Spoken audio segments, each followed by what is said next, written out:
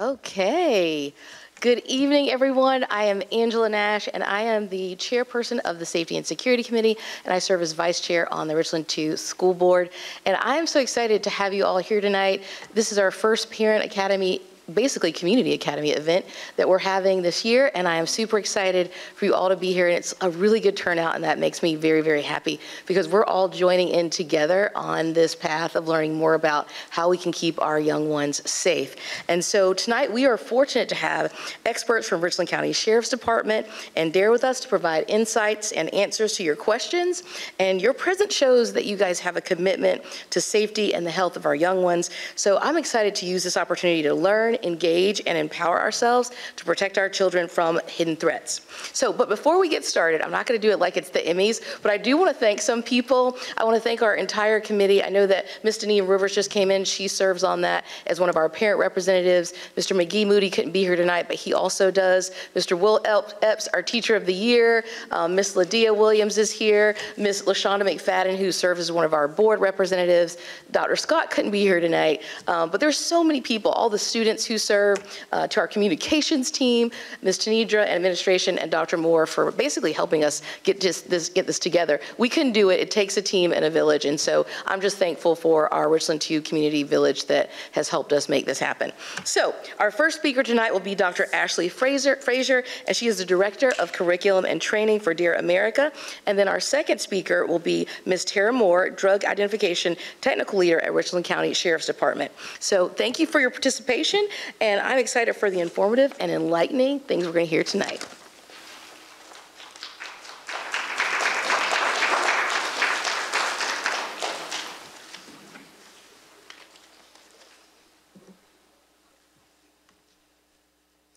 Hello, I'm Ashley Fraser. Um, thank you so much for having me here. I am going to speak to this. Parents are primary prevention partners. I'm going to not bury the lead. I'm going to tell you right now that the way that you are prevention partners is through your presence. And your presence right here can help you remember that because you're here. The opposite of a hidden danger um, is a um, showing up, right, for safety. And you've done that by being here. So it's a wonderful start. Sometimes we tend to think about prevention as something maybe that belongs to experts at school, experts in healthcare, but in fact, parents um, there are multiple layers of prevention work best, and parents are really that most continuous presence for kids. And I'm going to flesh out what that presence might look like. I'm also going to use my notes because I can be a little bit of a rambler, and I promised that I would let Tara have plenty of time to give you the lowdown on substances because she's a, a good um, sciency person to give you the important stuff about cannabis and other drugs. So I'm going to stick to it. So my work is as a prevention scientist, and my job here today is to help you understand how as parents, you play a critical role as one of the primary partners in helping your kids um, get skills that will prevent them from making decisions and engaging behaviors that put them at risk. And now the foundational skills that help kids safe from substance use, help keep them safe from all kinds of risk behaviors. So the good news is what I'm gonna um, talk about today keeps your kids safe in lots of different ways. And again, that's primarily your presence. And we'll talk about some of the main ways that that works. But, oh, clicker.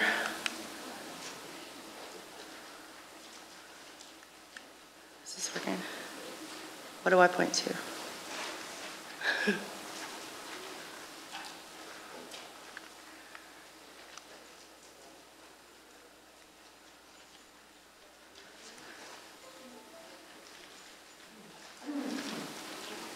Sorry, I don't know what I'm pointing to with it. Just make sure that it's turned on first. Oh, First of all. Sorry. Oh, thank you. There we go. Why prevention?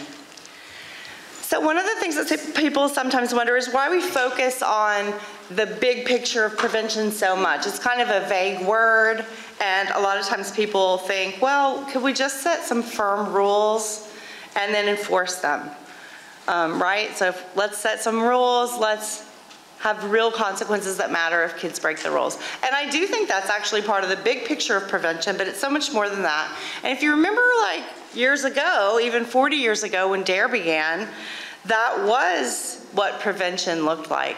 Does anybody remember the Just Say No campaigns? and how well they worked for you?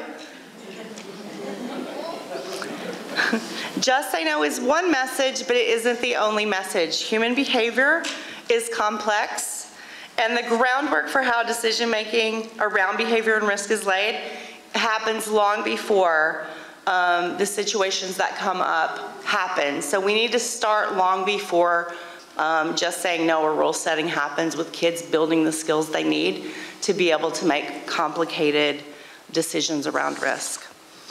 And one of the skills, um, or one of the reasons that happens, is that the age of onset matters. One of the most important things we know about substance use is that we need prevention efforts to begin long before the age of onset. This is the age where kids might first try or be tempted to try or asked to try a substance. Um, we know that early use is dangerous. Kids who use early are more likely to use more and to keep using later in life. Delaying that first age of trying or use is important. More developed brains make better decisions. More developed brains are less at risk for addiction and are less affected by some substances. Delaying use gives kids a chance to think of themselves as non-users. We think of the typical age of onset for the big three things, which I'll talk about, to be around seventh or eighth grade. But in fact, 67% of kids um, have never tried alcohol, nicotine, or any other drug at the age of eighth grade. 67%, most kids. So as kids make life transition, they develop identities and fall into peer groups, activities, and adopt behaviors that align with these identities, right? So if they understand that the norm is non-use and they feel comfortable with that identity, they're gonna make friends, right? Develop behaviors and feel comfortable in that identity. So we want to support understanding that. We don't want to have the attitude that all kids are doing this or have our kids adopt that attitude. We want to give them time by delaying that age of onset to feel comfortable in that identity of non-use, right? So delaying onset has a, direct, a bidirectional effect, also developing reinforcing protective factors that supports continuing non-use. The longer you go in life without using, the better chance you're gonna feel comfortable in that identity and continue not to be a user. Parents have a significant influence. I know it doesn't always feel like it. Sometimes it feels like your kids aren't listening, but remember that this is a way that kids also develop their identities. Part of the developmental um, process is kids try to differentiate themselves from you. Um, remembering that their parents and families are different people and that their behavior um, sometimes feels like they're pushing you away but we remember also that they are listening and that your consistent presence and messaging becomes part of their identity and worldview, for good or for bad. So having a consistent message, um, consistent messages about your family's values, how you feel about things like risk and substances, having those messages over and over, being a steady presence, having a steady um, presence in their lives and, and openness to hearing from them um, matters to them, even though it may not seem like it in the moment. You are a significant, and research has shown that those values come back to kids and it, and it does matter to them. So some of the big dangers I want to talk about. Tara's going to talk to you specifically about substances, but I'm going to cover some big picture things. First, the big three things. Substances most likely to be used first and early alcohol, tobacco products, and marijuana. They're also the most likely to be used later in life as well. Um, for the past several years, tobacco use was trending down, even decades, because cigarette smoking was the primary way that um, young people and older people ingested uh, tobacco. However, in the last couple of years, it's trended back up. How come? Vaping. Now that we are using tobacco products in a different way, now that trend has trended upward back a little bit, um, more than a little bit. Um, non-medical prescription drug use is also a growing problem among adolescents. Um, and this one is a, a bad one because it has sometimes deadly consequences due to adulteration with fentanyl and other synthetics. Tara, I'm sure we'll talk to you about that as well. I'm going to talk a little about prevalence, um, not a lot, but I, I do want you to know something because I like to, as a prevention specialist, remind you that the news is not all terrible. Because fear is not always the best way to come at your kids. Remember, just say no, right? Um, we want to be realistic and let them be okay with the norm that a lot of kids are making good decisions, and we want our kids to be one of those many kids making good decisions. Um, some things that might surprise you, if you look at this chart, the one on the left, what it's showing you is alcohol and tobacco trends from 1992. That's the year I graduated from high school. So all the way over on the left is 1992, and all the way over on the right of that left-hand chart is 2022. You'll notice a mostly downward trend from about 40% the year I graduated from high school for kids who say they've drank alcohol to 20% in 2022 of kids who say they've used it. That's half, right? And by kids, I mean 8th, 10th, and 12th graders combined. So when I was in high school, 40% of those kids said that they had used alcohol. Now 20. 20% to 10% for tobacco. That's the second line. The red one is have been drunk before, also cut in half from 20 to 10%. If you look at this chart on the right, this one is showing marijuana all the way back to the 70s. If you look at the blue on that one, marijuana use peaked in, who can guess what year? 1978. was anyone in high school that year? The peak of marijuana use was 1978. 50% of um, grades 8, 10, and 12 said that they were using marijuana in that year. It trended downward for a while and then it rose again in the 90s to 40%, but it's never again been at a level that high. You'll see that it has not continued to trend downward though. It trended downward, it peaked again a little in the 90s, and then it's kind of been steady-ish since then. I show you this because sometimes we get scared, right? That things are getting worse and worse. That substance use is getting worse and worse. That all kids are using drugs, that it's hopeless. That really is not true. And it's dangerous to have that attitude because when kids believe that everybody is doing something and it's normalized for them, then what do they do? Kids want to fit in. They do the thing that we say and they believe that everyone's doing. It's important to have the accurate norm, which is most kids are not doing it. However, as parents, what I want you to remember is the idea of experimentation has changed dramatically. The drugs that are available today are extremely different than the drugs that were available in the 70s or even the 90s. And there's no experimenting safely or it's just a phase. Today, uh, many of the drugs that are available to kids, even weed, is super different than it was even 10 or 15 or 20 years ago. And um, one pill can kill is a DEA um, campaign because of adulteration. And um, even the THC level in marijuana is wildly different than it looked like a generation ago. So um, although the trend is down, if kids use these um, substances, it's a very serious problem. Substance use occurs almost exclusively with kids that they know, with um, friends in a social context, and they try whatever they can get their hands on. So let me say that again. For kids, substance use is almost always initially tried with friends and with whatever they can get their hands on. So what do you hear in that? Lots of things under your control, right? It's very important as parents to remember you can control some of the factors in this equation.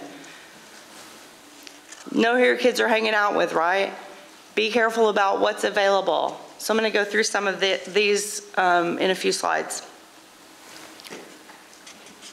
Another important thing to remember, there's a bi-directional relationship between mental health problems and substance use.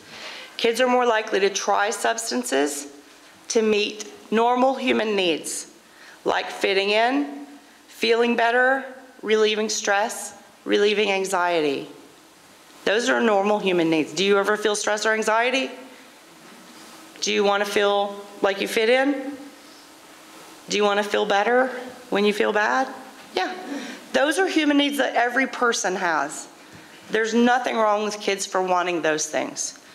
The problem is they are using a dysfunctional strategy for meeting that need. That's what we need to help them with. We need to be noticing when children are struggling and helping them with those needs. We need to help them find healthy ways to cope, and we need to help them get the help that they actually need. If we don't, they will seek out ways to cope with whatever they can figure out on their own. And their friends will help them figure out how to cope with whatever ways their friends have found to cope, right? So that's um, an underlying problem is that if we leave our kids to struggle, or we go, I don't know what to do to help them, we got to figure that that is a parental responsibility, right? Figure out how to help our kids to cope. Now, you can get someone to help you. You don't have to figure it out on your own, but we got to figure it out with our kids because otherwise we are neglecting to help them find healthy ways to cope. And this is something that can cause them to be more likely to use substances. And here's the issue if they do, it very often will make whatever problem they were struggling with worse. Because now, layered on top of that initial problem they were having, they have they may have shame that they're doing something bad. They may have fear that they're going to get caught. They may get caught and get in trouble. They may need to hide it, right? So now you're layering more and more problems on top. And um, this is why you call it a bidirect or reciprocal problem. Um, mental health problems can increase the risk for substance use, and the substance use can increase the problem of the mental health. So, what can parents do? I've sort of touched on some of these, so I'm going to go through them quite quickly. You are a prevention partner in these ways. You can talk, talk to your kids, talk specifically about your family's norms and values. If that feels awkward to you, keep doing it. Your kids want to know how you feel about things. They want clarity on what you believe, um, what your opinions are. Um, that kind of that kind of important clarity for them can help them not only find their way and guidance about what they believe, but it can give them something um, to stand on sort of when they go out in the world. Talk to them directly about risk, directly about decision making. Um, talk to them about substance use and what your expectations are. Be careful about what kind of jokes you're cracking or funny stories you're telling. Um, if you tell them with approval, they may be getting signals, right, about what's okay for you. Also, the other part of talking in a conversation is listening. Remember that it's a two way street. Your talk um, is important to your kid if you also are listening. Um, try to listen calmly. Sometimes your kid is going to say things that you don't agree with. They may ask for things that you feel offended by. They may ask for things that are outside of your family norms and values. That doesn't mean you have to agree to it or say yes, but the fact that you listen and have a conversation um, about why you don't agree and hear them out calmly is very important. Kids that feel shut down and not able to talk about what they want, need, or um, have their opinions heard out are um, less and less likely to come to you and talk to you about what their problems are. So remembering to have that open door for them to come and talk to you about hard things is very important. Um, again, when their perspective differs from you, always come back to your family's values, norms, and expectations. Um, you, you don't always have to compromise. Listening and hearing a different opinion doesn't mean you have to stray from your family's values and expectations. It just means you're listening to something different. Um, especially listen to talk about their mental health and their peers' uh, values and culture because you want to be listening for that. Remember what we said about being like your peers. Um, you want to listen for talk about um, peer culture that differs from yours. Um, Again, presence, keeping that good relationship open, a relationship where your kid can come to you. I don't want to call anybody out, but are you home? Are you on your device all the time? We are now a generation where we used to call kids out for being on their devices all the time. Are we on our device all the time? Or can our kid actually get our focus time and presence? Try to be aware of it. Also uncomfortable, monitoring and supervision. No child is going to admit this to you, but having ru- rules and monitoring. Don't just set the rule, but monitor whether it's being followed and have consequences if it isn't that you actually follow through on. It's all hard, but having that set of guardrails for life is important, and it helps kids learn to self-regulate, and it can be their out. No matter how much they complain about rules, when they're out there in the world and something comes up, being able to say, my mom checks my phone, man. My dad will drive by here and see if I'm here is sometimes the excuse not to do the wrong thing. All right. Re- oh, I skipped one. No, I didn't. Um, sometimes going by the house is how you know who your kids are hanging out with. That chart just shows you um, the relationship between are your friends using this substance and are you? Kids who say most of my kids smoke weed, that other line is showing you do you smoke weed? Most of my friends drink. Do you drink? Their relationship is very close. Very close. Have you ever heard that thing like, you are your five best friends? that thing? It's, when it comes to substances, it's very, very true. There's very rarely one kid hanging out with a bunch of other kids who doesn't do any of the things they do. It's not always, but with substances, it's usually very close. Family environment, availability, and attitudes. Again, I don't want anyone to feel called out, but if substances are regularly used at home, attitudes about use are lenient or positive, and substances are available to kids in the home, they're much more likely to use them. Remember before when we said first use is often with friends and whatever they can get their hands on? If there are a lot of substances, whether it's alcohol, weed, pills, whatever, at the house, they can get them, and they will, right? Even if it's just taking a couple out every few days and put them in the pocket, getting a couple of beers. If they're there, and if attitudes are, it's cool, um, they will, whether they're sneaking or whether they're doing it openly. And it's not to say your kid is a bad kid, but when they're in this phase of exper- experimentation, the more things are available, the more chances there are that they're going to end up using them. So again, it goes back to monitoring, supervision, open relationships. And finally, um, learn and reinforce. As a partner, I really mean partner, multi-layered approaches to prevention are the thing. The more kids hear um, consistent messaging in multiple contexts, the more important it is. So if you have DARE or an SRO in your school that delivers some kind of prevention programming, um, try to know what it is.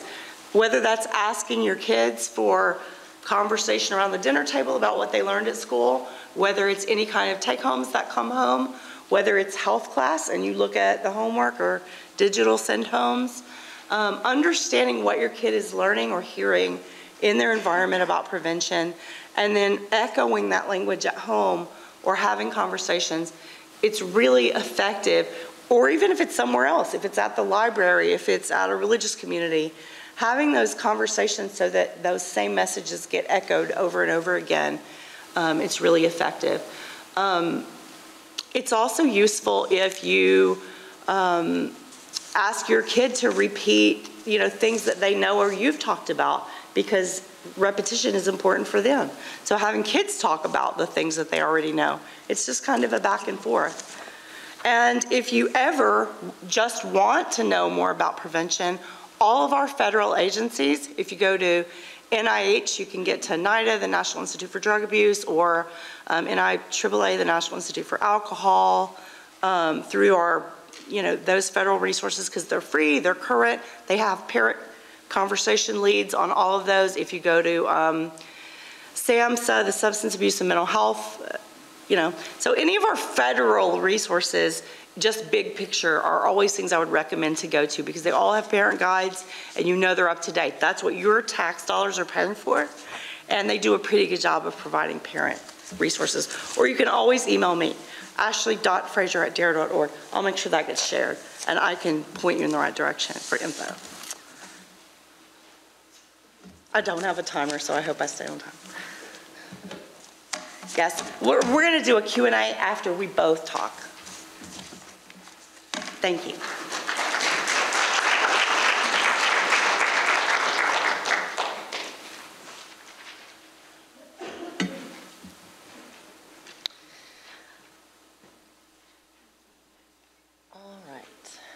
We're getting it switched over, so I'll just go ahead and introduce myself um, while I get that rolling.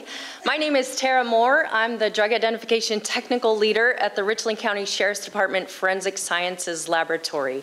It's a mouthful. Basically, I supervise all of the drug chemists in that section. So we test all of the seized drug evidence that the officers submit um, for examination, and we determine what's actually in those substances. So most of what I'm presenting to you today comes from actual tests that we've done on actual evidence items um, that we've analyzed. So you'll kind of get um, a little insider perspective on what we're actually seeing here in South Carolina. This isn't all over the country. This isn't in another region. This is here in our backyard. Um, so I'm originally from Washington State. Um, my background in education is chemistry. Um, I've been with the Sheriff's Department now for almost 16 years, um, the entire time in the drug chemistry section. So I've seen a lot of drug trends come and go, um, seen a lot of unique designer um, drugs is what we call them, um, new emerging substances um, over the years. So hopefully we'll get to talk about some of those. I didn't put, just as a little disclaimer, I didn't put anything about opioids in this particular presentation. This is going to focus mostly on cannabis and some of the cannabis products. But if you have a question about some of the opioids that are out there, um, please feel free to ask that at the end of the Q&A session, and I'd be happy to speak to those um, as well. All right, it works. So this is sort of just generally what we're going to go over.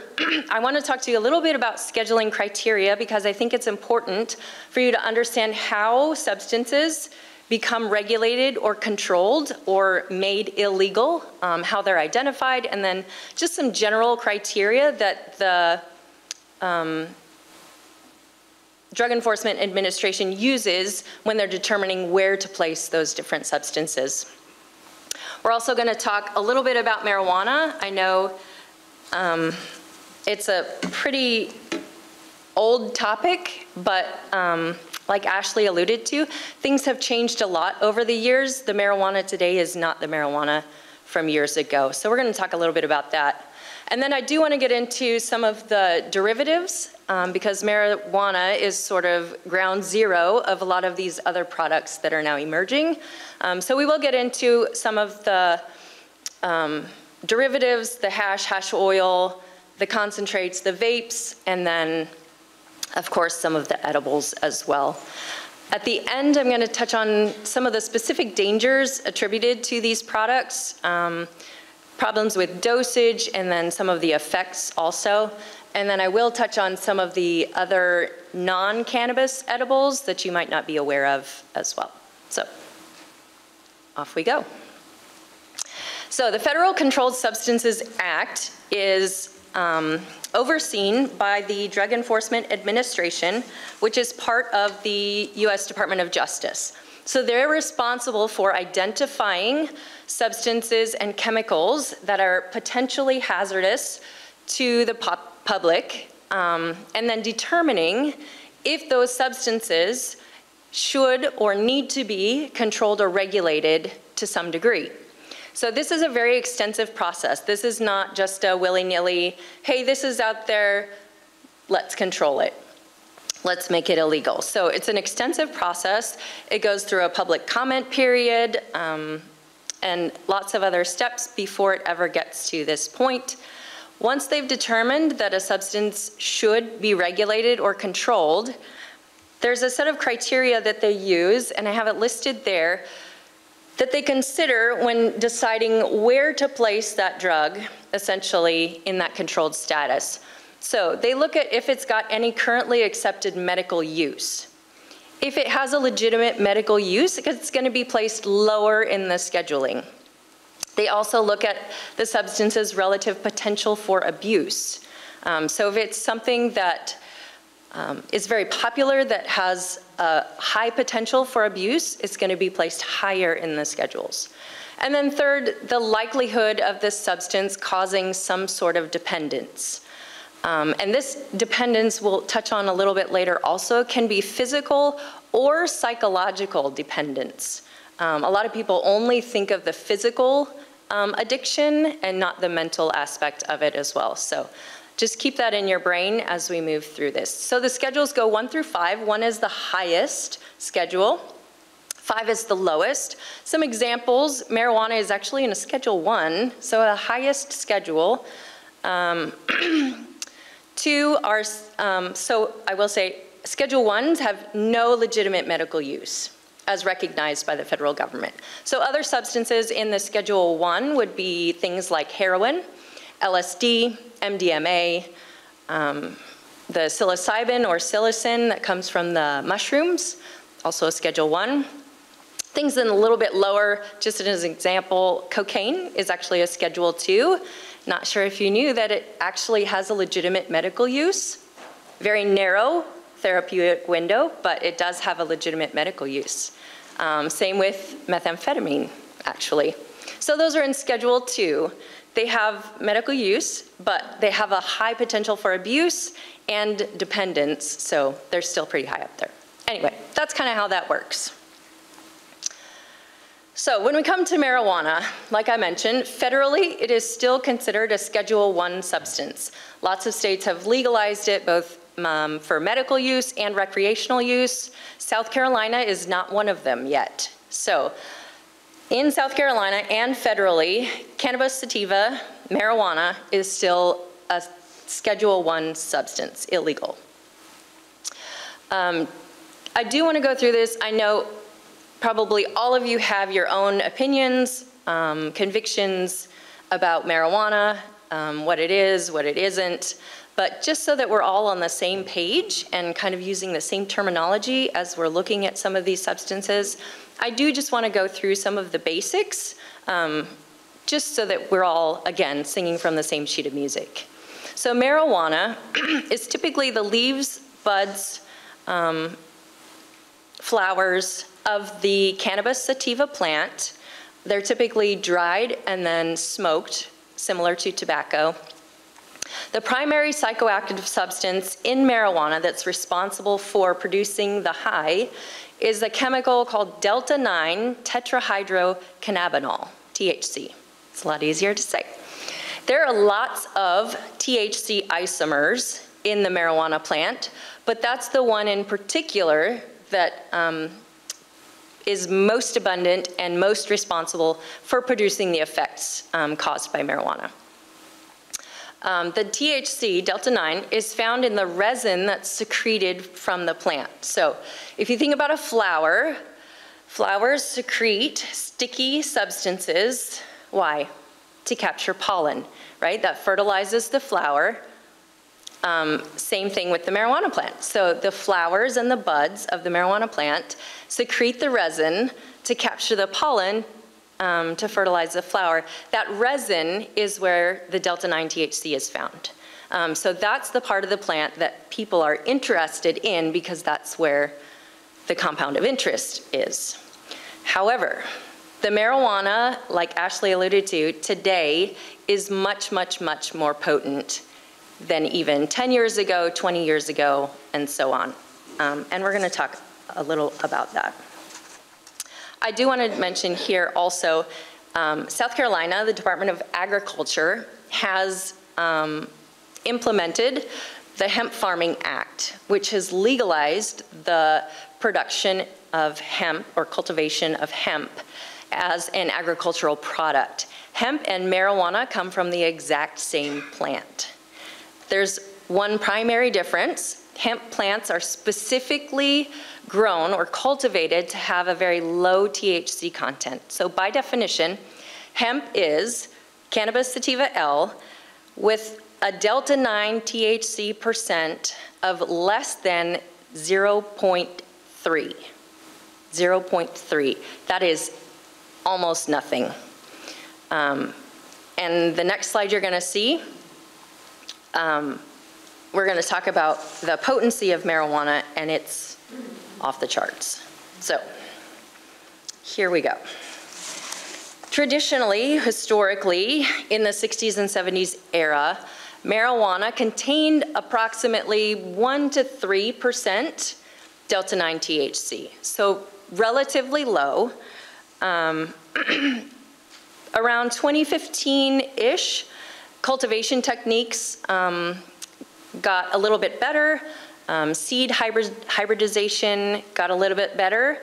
So from there on, we've seen improvements in the marijuana products that are being um, cultivated and produced.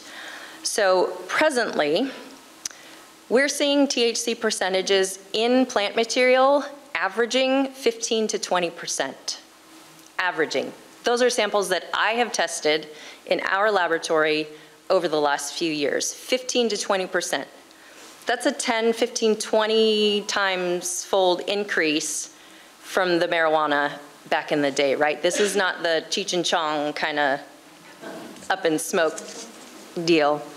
This is much, much, much more potent. Um, a lot of the misconceptions about marijuana also have been traditionally that it's not addictive, that um, nobody has died from it, so it's not really dangerous.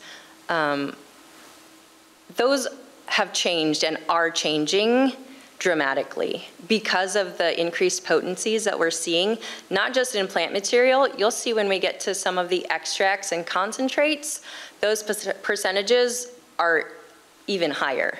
Um, so we are seeing um, some different clinical diagnoses now coming from marijuana use. So one of them is now tagged cannabis use disorder. Um, and I have the definition there. It's basically characterized by a continued problematic pattern of use despite negative consequences that causes significant distress or impairment of function. There's also a couple others down there. These are more physical symptoms, the last two that I have listed there. So um, causing severe vomiting um, and other psychosis. We've seen several hospitalizations now from these products. Um, because these are chemicals, remember. Chemicals alter your brain chemistry. Especially for adolescents, that's very dangerous.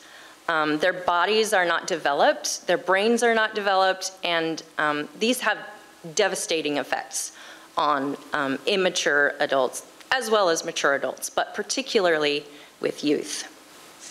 Um, we're seeing psychosis that I mentioned, which is sort of a disconnect from reality, not to mention the physical symptoms, um, and the cannabis use disorder actually has a series of criteria that they use for categorization, and some of those criteria are withdrawal symptoms.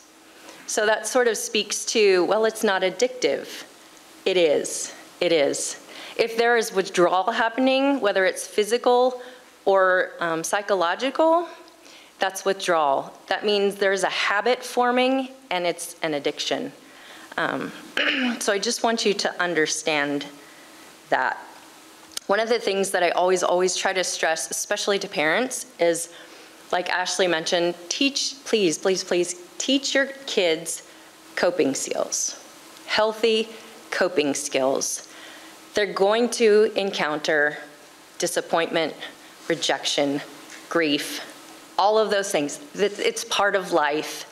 Teach them how to deal with that in a healthy way, how to talk about it, how to process it Otherwise, they're going to look for other ways to deal with that. And a lot of times, it's substance abuse. And like Ashley mentioned, it just layers upon layers upon layers. The hole gets deeper. So if I can stress anything to you, please teach your kids healthy coping skills. All right. so plant material, we're seeing in the 15 to 20% um, potency range. Let's talk about extracts and concentrates. So this is essentially taking that plant material and then separating it from that resin that I talked about where that um, THC is present. So there's some different ways to do it. A mechanical extraction would be sort of like sieving the material, grinding it up, and then separating the leafy plant material from the actual resin. Um, that's typically referred to as hashish.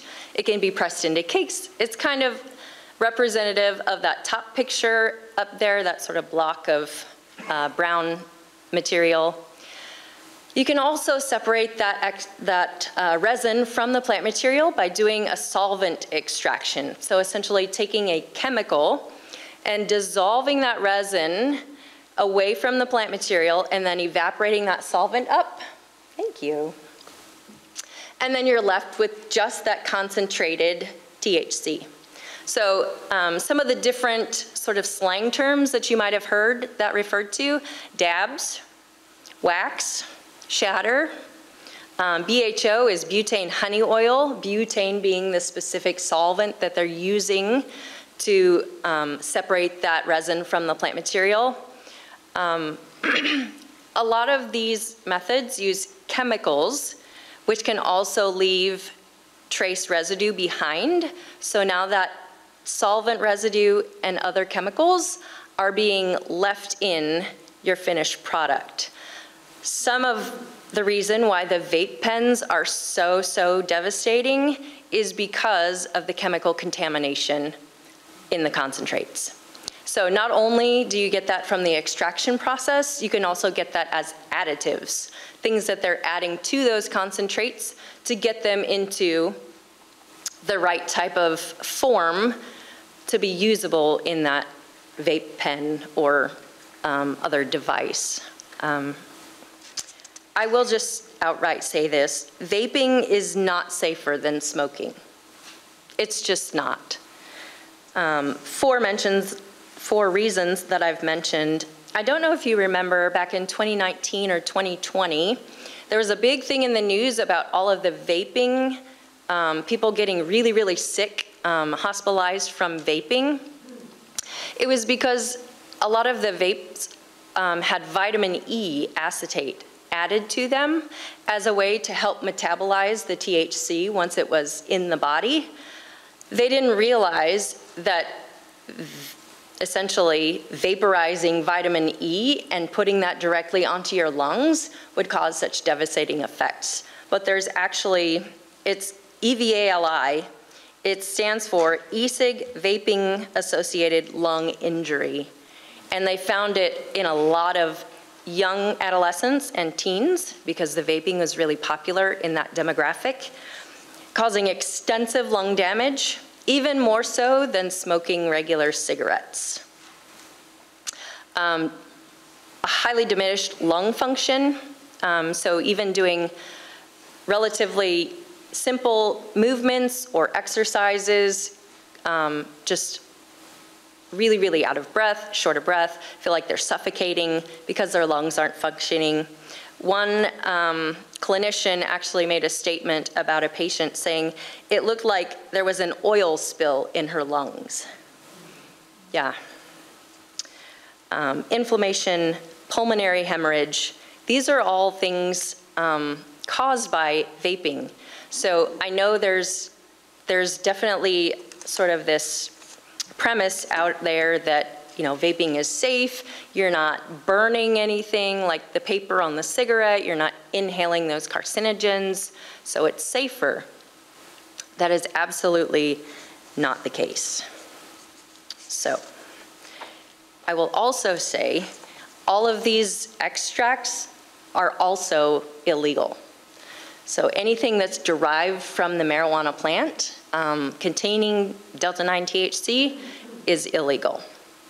Um, So I'll leave the vaping there. We'll move on to the edibles. Um, So essentially, they're taking these concentrates, they can put them in vape pens um, to be uh, ingested or inhaled that way. Or you can also take the concentrates and go the other direction um, to produce edibles. And so that's kind of where we're going to go next. So I'll just give you a second to take it all in. Um, You'll notice a lot of the packaging materials, right? They're manufactured to look similar to legitimate snacks and candies. So they're very colorful, they have um, punny little, you know, marketing slogans on them. A lot of them look very similar to legitimate candies, like this um, Sour Patch Kids up top. Um, One of the things, before we even get into what's actually in them, these can be very dangerous because small kids can't read the packaging, right? It looks like the real thing. So if little kids get a hold of these, they're not going to know that it's anything different from the candy that they're used to having. Um, and I will say, unfortunately, these get left around people's homes all the time.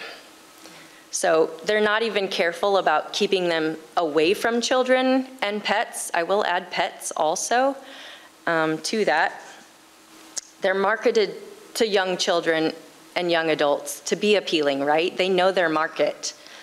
Um, a lot of the, the edibles specifically that we see also, um, I kind of highlighted it in the yellow circles down there. You can see the little triangle with the California sign underneath it. A lot of these are marketed or manufactured in places that have legalized um, cannabis use and cannabis products.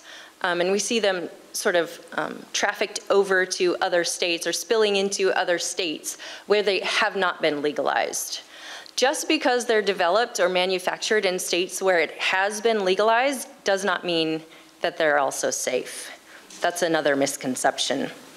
Um, as you're looking at this, I just want you to sort of make a mental note of what you see on the label and what you don't see on the label as well. I have more pictures, so keep looking. Some of these were actual evidence items, again, that we received and tested in our laboratory. So you'll notice some of them include dosage on them. Um, some of them include how many milligrams. It doesn't say milligrams of what. Um, So, quickly, some of the dangers. I will tell you, all of these products are unregulated. They are absolutely not um, overseen by the FDA, the Food and Drug Administration, or any other uh, federal governing authority. So there is no quality control, no specific manufacturing guidelines, um, and no specific manufacturing requirements for what can or cannot be in them. I will say most of the labels lack information, or if they have information, it's incorrect. So very, very often, we'll test these products and the label will say one thing and we will find several other things that were not um, either intended to be there or not disclosed on the packaging. They don't include any nutrition information, manufacturer information, active ingredient information, um, so, uh, dosage also. Technically, according to and the um, South Carolina Department of Agriculture um, and DHEC have put out a statement saying, I'll just read it to you straight from the horse's mouth regarding manufacture, distribution, and sale of food and beverage products containing hemp-derived products. Um, the FDA, US FDA, prohibits the introduction of any food which THC or CBD has been added. These are not approved. So, did you catch that? CBD also has not been approved by the FDA to be added to food and beverage products. It is illegal to do that and to market them and sell them. So, just so you know, it's all about making informed decisions, right? Okay, just some quick effects. So, the problem with edibles also, when you're smoking something, the onset, I have two now. Yeah. Sorry. You're so kind, though. Thank you. I'll definitely drink it. I'm trying to move through this quick because I know um, we're almost out of time and I do want to leave question and answer time. So just quickly, the problem with edibles, so smoking, the onset of effect is very rapid. So right, it's a, being absorbed very quickly into the lung tissue and getting into the blood. With edibles, because you're ingesting it, it has to go through the entire digestive system and be broken down and metabolized. So the onset of effect takes much longer, more like 30 to 40 minutes. So if somebody is to eat some of these edibles and then wait, and then wait, and they're not feeling any kind of effects, what are they more likely to do? Dose again, right? So they take a second dose, and now, five or 10 minutes in, they're starting to feel the effects from the first, but now they've already taken it, so they're more likely to overdose because they've, again, dosed on top of a dose. So some of the um, physical effects that you're going to notice from somebody under the influence of these sedation, very lethargic, um, a loss of maybe coordination, um, diminished motor function, slowed speech, disorientation, and even psychosis, that disconnect from reality. Um, I always, always recommend if somebody is experiencing those types of symptoms, um, take them to get evaluated by medical personnel because you don't know how much they've had and if they've dosed on top of dosed, um, they could find themselves in a really um, bad situation very quickly. One last thing, just to mention, um, other non-cannabis edibles, um, I actually received one of these chocolate bars in the lab. If you notice in the corner there, I don't know if you can read that, it says psilocybin mushrooms. This is a ch chocolate bar, so um, Girl Scout cookie flavored chocolate bar with um, mushrooms, ground up mushrooms in the actual chocolate. Um, they did actually contain psilocin, um, like I mentioned before, Schedule 1 substance, totally illegal. Um, but these are out there also. So don't just assume that all of the edibles are just marijuana products or hemp products. Um, there are lots of other mushroom-based substances out there, gummies as well. Um, we just received some of those in the lab. We haven't tested them yet, but I'm anxious to see um, what those actually come out to be. So just know that those are out there also. The end. He's back there doing one of these, so.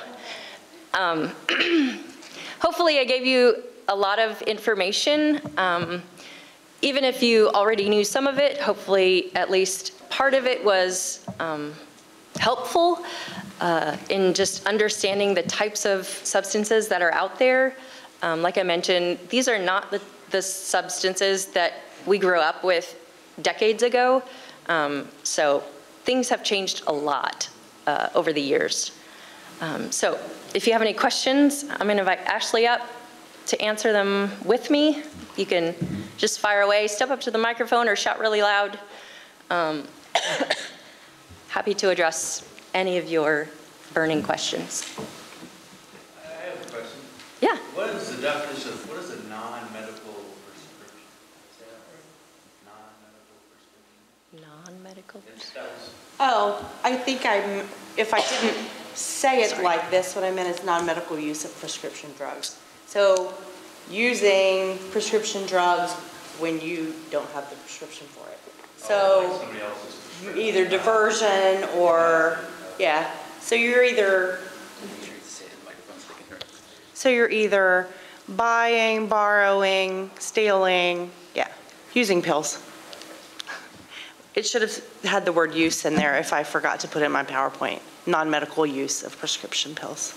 I it probably did. I- I just didn't- I'm not always accurate with my typing. Yeah?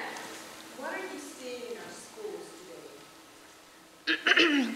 I think some of the SROs can uh, speak to that for sure, but what we get submitted to the laboratory, I can tell you, we're seeing a ton of vape pens with THC in them, a lot of edibles. I will say a significant increase in the number and type of edibles that we're getting. We used to see traditionally um, more of the homemade type edibles, like brownies or cookies that came from somebody's kitchen. Now we're seeing a lot of the products that are manufactured like in California, Colorado, some of those other states flooding over into our jurisdiction. Um, Yeah, so lots of edibles. Question here. So what have you seen uh, as far as uh, people or students being tricked with some of these edibles, with offering them as something that maybe just from a friend that was actually laced with something? Yeah, so we have had situations like that. Um, It's not totally unheard of. Um, I always tell people, if you didn't open the package and you don't know exactly what it is, don't eat it. Just politely decline. Say no thanks. Because youth brains are not fully developed into their mid-twenties or whatever. Speak to the impact that these drugs, the long-term effect, where it could possibly, I would think, lead to long-term mental health concerns. You- Do you want to take that one? Sure. You do. Um, No drugs are healthy for um, young people or adolescents with developing brains, and each drug specifically probably has its different risks. But overall, I think it's safe to say that, and we know with cannabis particularly, um, you were talking about, um, Tara was talking about some of the risks that we have for attention, for learning, for retention of new knowledge. Um, We know that there's academic effects um, from cannabis, specifically um, mental health-wise. We've seen um, psychosis, I think schizophrenia has um, some impact there um, from heavy use. So the age of onset for use seems to matter when it comes to significant health. I mean, we're not just talking about some depression and anxiety, which, you know, traditionally people have felt like their anxiety might be helped by using marijuana, but in fact that today's strains of it, because they have such high THC levels, that heavy use may be inducing um, some mental health disorders for young kids. And that may be because of the interaction of that de- brain development and it not happening um, in a natural way because of the, the way these chemicals are working. So, did you, do you want to add to that? Um, I would just say, even if we don't consider things necessarily addictive, physically or psychologically, like the use of these products is still creating habits, right?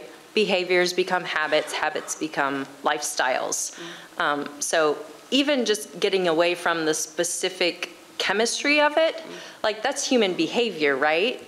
Um, and we know that. So the sooner we can teach good behaviors and reinforce those good behaviors instead of just sort of brushing off the, well, it's not that bad, kids will be kids kind of mentality, um, I think we can sort of teach our kids to make better decisions and put them on a path for success. I've got two So many questions. Um, first question, you spoke a lot about uh, Delta 9, Uh-huh. THC, not gonna try to pronounce. Well, what, what's the difference? Because now we hear about the Delta 8, CBD, THCA, you know, that turns into THC when you actually burn it. Mm -hmm. um, so what are the differences between those and what are the dangers with them? The second question is, we know eventually marijuana may be legalized here in Sacramento for recreational use. We see a lot of these stores pop up, these smoke shops actually sell some of these products. What are we doing to combat that, address that, prevent our kids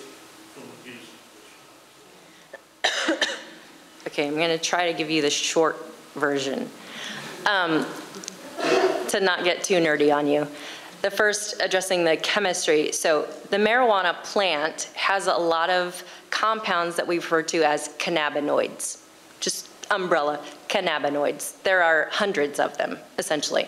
So delta 8 THC, delta 9 THC, there are many others, delta 10, delta 6A, 10A. Um, those are all found naturally occurring, most of them, in the marijuana plant and varying levels. Um, CBD, cannabidiol, is another one, cannabinol, um, and it goes on and on and on.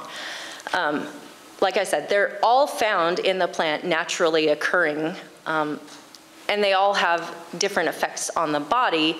People hone in on the delta 9 because it's sort of the most abundant and produces the most significant effects.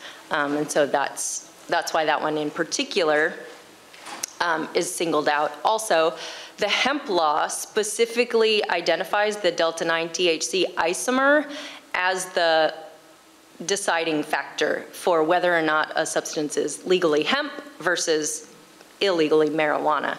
Um, so that's part of the reason that that one is so prominent also. Um, THCA is actually the naturally occurring form of delta 9 THC in the plant. Um, and when it's heated or burned, it converts to delta 9 THC. So just a little chemistry conversion. Um, when we do our analysis, we're actually sort of helping that process along. Um, and our quantitation that we do is actually taking both of those into consideration so we get the total THC concentration. So it includes both of those. The naturally occurring form, and we call it the decarboxylated form. So, oh, question number two. part, Yeah. Um, I get this question from my DARE officers each time a new state makes it legal.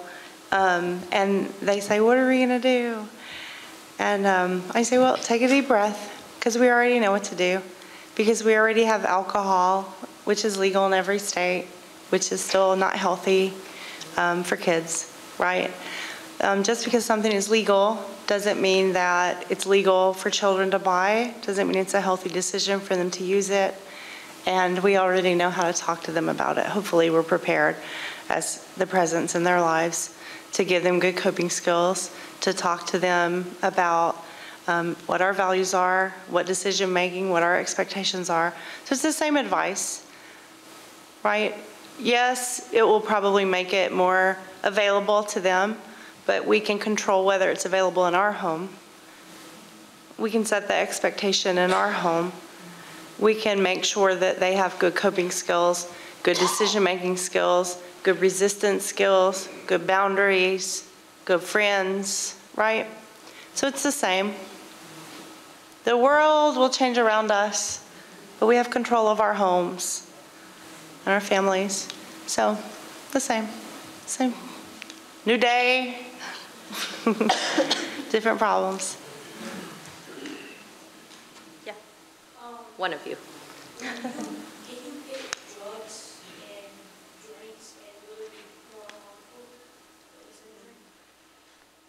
Say that a little bit louder. I didn't catch the last part. Can you um, get drugs and drinks and if you can, will it be more harmful?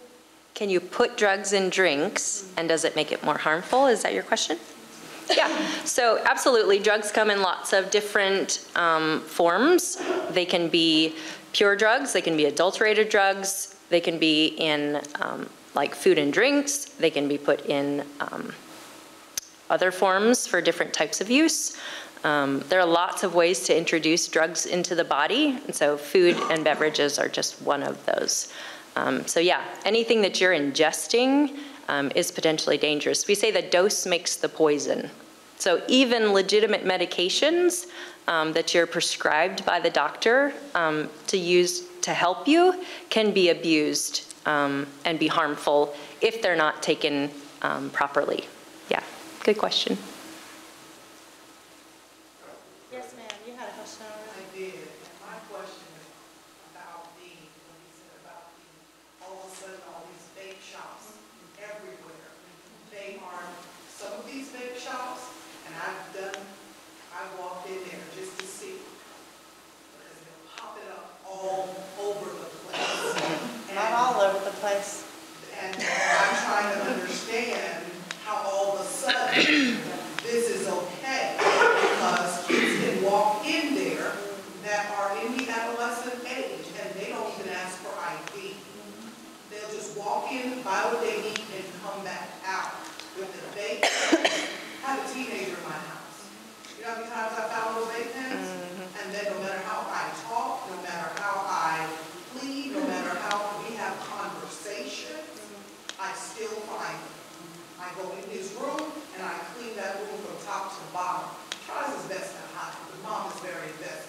Good for you.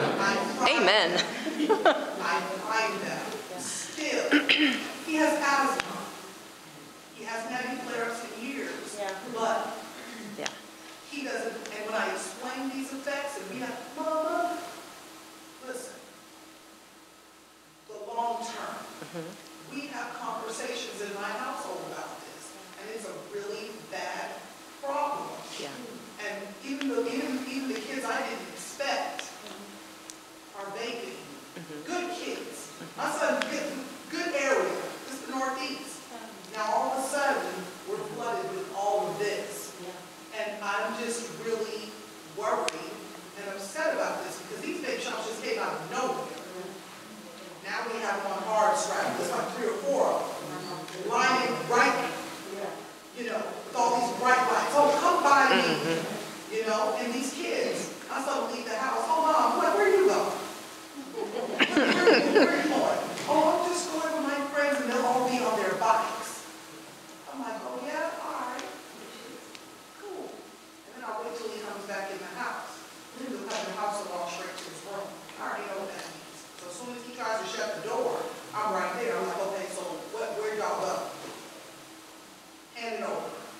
Mom, no, mom. When I search, seek and you shall find, the Bible says. And I find every single time. And I just, you know, I'm, I'm a parent that doesn't know how to defeat this. Yeah. It's defeating me. And I'm sick of it, because I get them, I throw them away, and then I make sure that he understands the consequences of this. But it's like talking to that screen that says, and nothing's happening. Yeah. So I just wanted to know, you know, is law enforcement, are, are you guys trying to do something to combat this? Because I know they're businesses and you can't, you know, people can do whatever they want to, but it's Well- really affecting our community, like in high volume, especially in the schools. Yeah. You're getting in trouble for taking them to school. Yeah. So I will just say, part of the problem, a lot of it recently that's sprung up is with the Delta 8 THC. So a lot of that stems from the Hemp Farming Act um, because it specifically says hemp is marijuana, um, cannabis sativa L plant with a low Delta 9 THC content. Remember, Delta 9 is the isomer of choice. So they're saying, okay, it also includes any derivatives, extracts, salts, isomers, on and on and on. So the farmers say, okay, well, if I take a legitimate hemp plant, legal, extract the CBD from it, legal, convert the CBD to delta 8 THC, that should be legal, right? It came from a legal source. The federal government says all tetrahydrocannabinols, THCs, are a Schedule 1 substance, including Delta 8. So federally, those are Schedule 1 substances. So the argument from the farmers is it came from a legal source, it should be legal. So you saw all these vape shops pop up selling Delta 8, Delta 8, it's legal. Um, So actually, SLED wrote to the Attorney General asking for their position on the issue, um, basically asking, hey, we don't agree with this. We believe that the hemp farming program was never intended to legalize the other isomers, essentially, of marijuana. Um, It was to produce a legitimate agricultural product. Um, And the Attorney General gave his position, saying basically the same thing, that, oh, they took my presentation down. Basically that um, their intention was not to legalize all of these other chemicals. um, oh. There we go. So you can kind of read that. I'll summarize. So I gave the farmer's position. Um, The problem is, they also say that Delta 8 THC products, as long as the Delta 9 it- in it is less than 0.3%, that's still a legal product. It's considered a hemp product. Right, so that's how they're sort of justifying getting away with selling those types of things. Um, And our problem, just on our end, and analytically, is a lot of these products are in vape pens, um, food products, those sorts of things. We don't have a method to do quantitation on those types of products. So each one of those different products essentially is a different, we call it a matrix, a different background with those compounds in it. So each one of those would require its own method validation for us to be re- reliably be able to say it has less than 0.3% in it or not. Um, and so analytically, we can't really make that determination. Um, so we're kind of in a hard, hard place there. Um, but again, federally, THCs are all illegal, Schedule 1, and the Attorney General's position in the state of California, or Carolina, and the Department of Agriculture actually has it on their page, also with the Hemp Farming Act, that Delta 8 is an illegal substance. So they've put it out there. It's illegal. So. How old is your son? Four. When you said that this is in front of his parents. So I think, you know, I love this story, honey. Because I hear you saying that you've done all these good things. And I hear that, you know, I said you're gonna push back against this. I hear him finding the boundaries of your family's values and what can happen, and what he can get away with. I also hear his friends, his reputation being built. Mom is gonna look in our pockets, Oh, we, we, in the bag. no, I check every, I hear the friends saying, we're not doing this shit. Mom, Mom, Right? I check every, when his friends, even when they come to my house. So this is important, Yeah. right? Because you're building a reputation about what goes on in your family and at your home. You're building a reputation for your child as someone who cannot get away with things. You're building an important relational structure for him about what his friends can be like and what his friends can expect. So I like this story. It may feel discouraging to you in this moment, but I hear you setting some very important foundations for what's going to happen with your 14-year-old son. Yeah, I will say, I'm very encouraged by you. Keep fighting the good fight. That's right. That's right. Don't get tired of doing good. Your son is worth it. I have one, one quick question. Yeah. Uh, normally, if you vehicle, you pull an open container, you get good. If you see someone swerving out, we call police department, we call swerving, that drunk driver, we tag number, they come. What is that? What now? It's a community concern now. My window is up. I drive the intersection, I I smell, I smell through my car. Yes, the air conditioning. in my car. So, can you call police force, say this car got some marijuana in it, you smell it, you know, it's driving out, what, what, it's all over there. I mean, you can smell like, it's like that. I mean, Think about it, as far as marijuana goes, uh, you can't pinpoint which particular part that it's coming from. I myself have seen that as well, too. Uh, By the way, I'm the, uh, one of the captains of the school resource officer division, Captain Woods. And, uh, yes, um, we do have a problem with that as well. When cars are driving, uh, they do, they are smoking as well, unless we physically see them do it, or we pull them over for another violation, or traffic stop of some sort, then when we smell it, then we, we gotta act on that. Okay, we can go a little further. We can, first of all, charge them with the first violation. Okay, whatever traffic offense that is. And once you smell uh, marijuana, you just take it a little further. You know, you, you may have seen a Island Patrol with Danny Brown doing this thing. uh, uh, that's one of the ways of uh, detecting and figuring out. You know, basically, have an interaction with that person. Hey, look, you got it, let me know. Okay, some people step and say, yeah, I got some, and they'll produce it. Okay, you got some that'll stick to their guns. And they're, they're not they're not going to say one way or another. We can at least confine them on the on the uh, the things. We can confine them and put them in jail for that particular reason, or maybe have them tested as well, too. Once they're, once they're tested, do a blood test, see if they've got marijuana in their system, okay? We can tell them, look, that, you want us to go that route, or do you want to uh, bring out what you got? Someone might say, yeah, I got it, okay? And deal with the minor offense rather than going the, uh, with the driving under the influence of the, under the influence of the drug and things like that. But that's basically how we do it. But like I said, it, it goes all throughout the air, and it's hard to pinpoint. Let's see which car has it and which car doesn't. So if your car has it, you put the parking lot and call this whole next two, uh, two blocks around. And I'm in the parking lot and see the guy over there smoking. Right. I call law enforcement. You right. guys come search. Did they actually came out there and searched?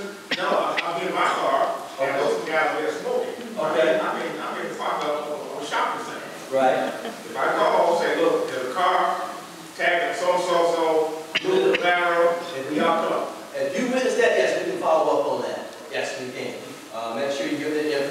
uh, you know, uh, description and information of what the car looks like and everything. And yes, we can definitely follow up on that. Okay? Yeah? We received a lot of information this evening. Will this um, event be posted on the district website for replay now? Yeah, we've actually recorded the entire thing. So um, it will be posted on the district website. It will be pushed out to you through Parents Square. So even the parents that aren't here can see it. Oh, and then I think